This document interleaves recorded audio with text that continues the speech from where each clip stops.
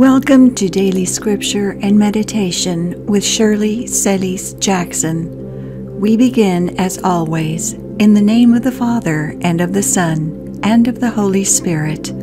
Amen. Monday, the 21st of March 2022, of the third week of Lent.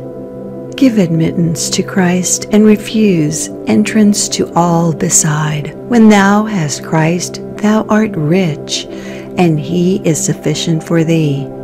He will provide for thee and be thy faithful procurator in all things, so that thou needest not to trust in men.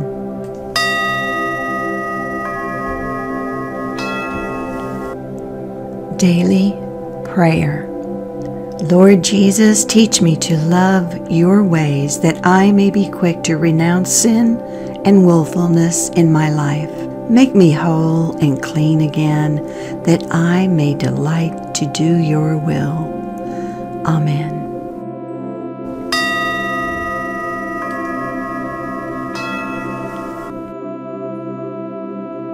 Introduction to the Liturgy of the Word. Naaman had to sacrifice his self importance.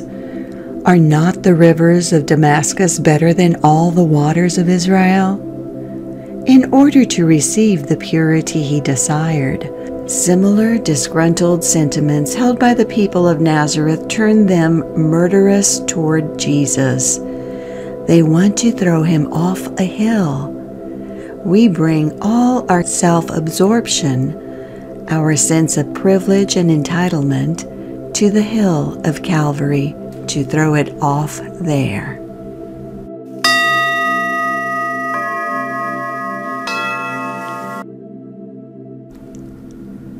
The Epistle. There were many people with leprosy in Israel, but none were made clean except Naaman the Syrian. A reading from the second book of Kings, chapter 5, verse 1.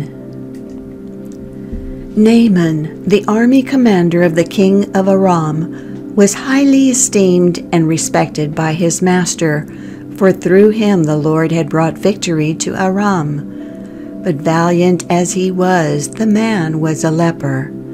Now the Arameans had captured in a raid on the land of Israel a little girl who became the servant of Naaman's wife. If only my master would present himself to the prophet in Samaria, she said to her mistress he would cure him of his leprosy. Naaman went and told his Lord just what the slave girl from the land of Israel had said. Go, said the king of Aram, I will send along a letter to the king of Israel. So Naaman set out, taking along ten silver talents, six thousand gold pieces, and ten festal garments.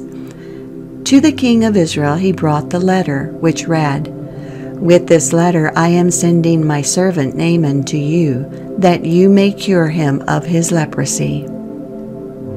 When he read the letter, the king of Israel tore his garments and exclaimed, Am I a God with power over life and death, that this man should send someone to me to be cured of leprosy? Take note you can see he is only looking for a quarrel with me. When Elisha, the man of God, heard that the king of Israel had torn his garments, he sent word to the king Why have you torn your garments? Let him come to me and find that there is a prophet in Israel. Naaman came with his horses and chariots and stopped at the door of Elisha's house. The prophet sent him the message Go and wash seven times in the Jordan, and your flesh will heal, and you will be clean. But Naaman went away angry, saying, I thought that he would surely come out and stand there to invoke the Lord his God, and would move his hand over the spot and thus cure the leprosy. Are not the rivers of Damascus, the Abana, and the Pharpar better than all the waters of Israel? Could not I wash in them and be cleansed? In this he turned about in anger and left. But his servants came up and reasoned with him. My father, they said, if the prophet had told you to do something extraordinary, would you not have done it? All the more since he said to you, Wash and be clean, should you do as he said. So Naaman went down and plunged into the Jordan seven times at the word of the man of God. His flesh became again like the flesh of a little child, and he was clean. He returned with his whole retinue to the man of God. On his arrival, he stood before him and said, Now I know there is no God in all the earth except in Israel. The word of the Lord. Thanks be to God.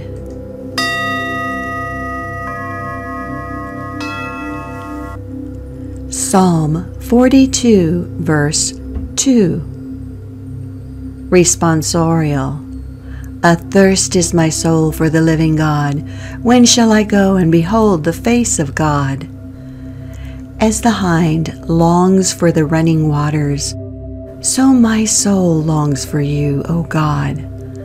Athirst is my soul for the living God. When shall I go and behold the face of God? Athirst is my soul for God, the living God. When shall I go and behold the face of God? Athirst is my soul for the living God. When shall I go and behold the face of God? Send forth your light and your fidelity. They shall lead me on and bring me to your holy mountain, to your dwelling place. Athirst is my soul for the living God. When shall I go and behold the face of God? Then will I go into the altar of God, the God of my gladness and joy. Then will I give you thanks upon the harp, O God, my God. Athirst is my soul for the living God. When shall I go and behold the face of God?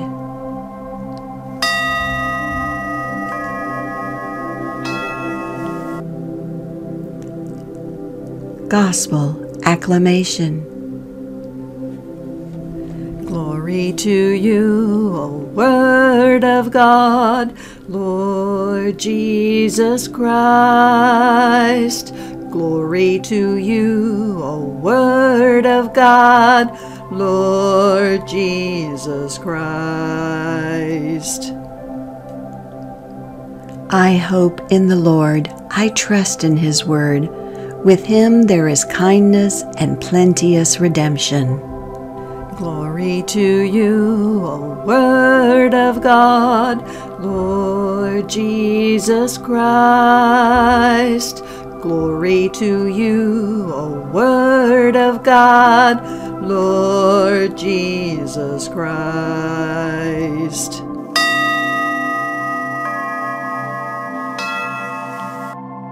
The Gospel like Elijah and Elisha, Jesus was sent not only to the Jews.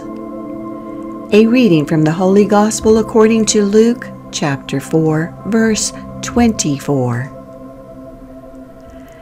Jesus said to the people in the synagogue at Nazareth, Amen, I say to you, no prophet is accepted in his own native place. Indeed, I tell you, there were many widows in Israel in the days of Elijah when the sky was closed for three and a half years, and a severe famine spread over the entire land.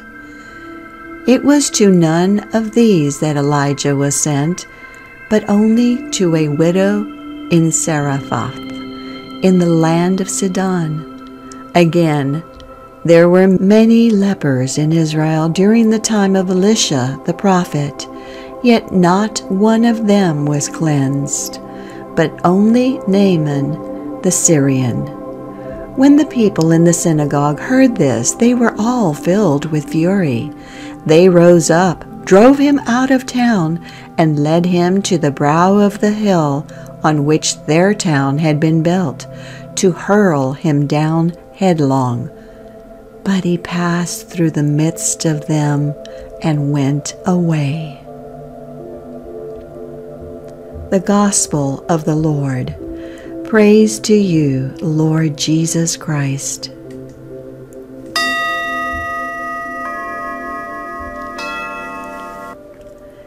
Daily meditation. If he had told you to do something extraordinary, would you not have done it? 2 Kings 5 13. Naaman wasn't an outcast. Despite his disease, he had met with the king of Israel after all. So his leprosy was likely some other disfiguring skin condition and not actually Hansen's disease. But any affliction can drive a person to great lengths, and this commander of the army of Aram was prepared to go to great lengths. What he wasn't prepared for was a simple cure. We've all felt something of Naaman's desperation. Our relationship struggles, persistent sin patterns, or physical or emotional illnesses can seem overwhelming, too big, too complicated, too painful to ever be resolved. But God knows that you need healing, and nothing is beyond His ability to heal, to reconcile, and to restore. He knows the best way for you to be healed, though it might not look like what you expect and He wants to make it simple for you too. One simple avenue for healing is the sacraments, which give growth and healing to Christ's members. Catechism 798. In the sacrament of the anointing, God gives special grace to restore and strengthen you when you are tried by illness. In the sacrament of reconciliation, God can heal you of every kind of sin, whether jealousy, anger, or resentment, and bring you peace as you are reconciled to Him. And in the sacrament of the Eucharist, Jesus can fill you with grace, strengthen your love for God and neighbor, and help you let go of harmful behavior. Not all of us need physical healing, but everyone needs spiritual healing. This week, set aside any disdain for the simple cure and your own thoughts of how God ought to heal. Let nothing keep you from the grace He offers in the sacraments. Consider going to daily Mass or confession Trust your Father to meet you there with the balm of mercy and grace and the strength to be made whole. Trust Him to provide that simple cure. Lord, I need your healing today.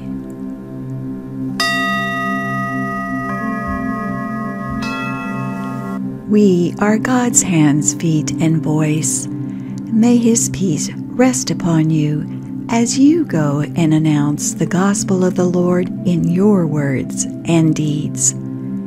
Thank you for joining today. Abundant blessings upon you and yours. Amen. We close as always in the name of the Father, and of the Son, and of the Holy Spirit. Amen. Hello, I'm Shirley, residential realtor for many years. As a professional, I welcome and encourage you to contact me whether you are buying or selling a home. Or if you know like minded people like yourself that you want me to help guide through this overwhelming process. Whether in the Dallas Metroplex or across the country, I'd love to assist in your real estate needs. Click the link in the description below to land on my website for a plethora of real estate information. Thank you and blessings upon you and yours.